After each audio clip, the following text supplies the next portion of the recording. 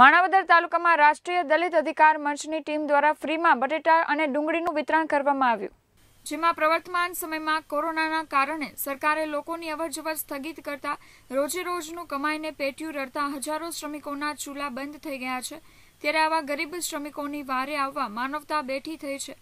ત્યારે વડગામના ધારાસભ્ય જિગ્નેશભાઈ મેવાણીની રાષ્ટ્રીય દલિત અધિકાર મંચની ટીમ દ્વારા છેલ્લા ચાર દિવસથી ચાર હજાર કિલો બુંદી, ગાંઠિયા અને ચાર હજાર કિલો બટેટા અને ડુંગળીનું વિતરણ માણાવદર તાલુકામાં ફ્રીમાં કરવામાં આવી રહ્યું છે. અને હજુ પણ આ વિસ્તાર ચાલુ જ રહેશે, જેમાં એસસી, એસટી અને ઓબીસીના પછાત અને ગરીબ કુટુંબને લોકડાઉનને લીધે કોઈ ભૂખ્યા ન રહે તે માટે આ ટીમ રાત દિવસ કાર્યરત રહી, સતત સેવા કરી રહી છે અને આ ટીમે વર્તમાન પરિસ્થિતિને જોઈને ગરીબ લોકોને ભરપેટ જમવાનું મળી શકે તે માટે રસોડું શરૂ કર્યું છે. અને આ ટીમના સભ્યો ભરતભાઈ પરમાર, સુરેશભાઈ કાબા તેમજ સંજયભાઈ રાઠોડ વગેરે પોતાની સેવા આપી રહ્યા છે અને આ રસોડામાં રોજ એકસો કરતાં પણ વધારે લોકો પોતાના પેટની ભૂખ ઠારી રહ્યા છે. અને આ રસોડાની મુલાકાત આજે માણાવદરના પુરવઠા મામલતદાર ભુવાભાઈ અને મૂળ ચંદાણિયા ભાઈએ લીધી હતી. જય ભીમ, જય ભારત, ઇન્કલાબ, જિંદાબાદ.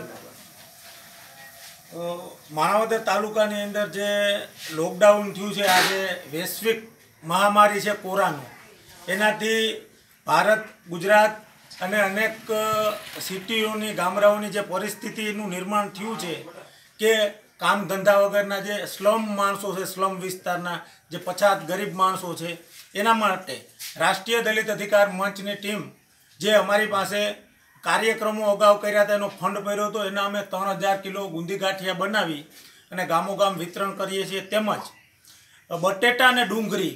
પ્રવીણભાઈ બધાભાઈ પરમાર જે અમારા સંગઠનના સાથી મિત્ર છે, એમને પોતાના ખર્ચે એક એવી મુહિમ કરી છે કે માનાવદર તાલુકાના તમામ પછાત માણસો છે, તેના સુધી ડુંગળીને બટેટા પહોંચાડી શકીએ.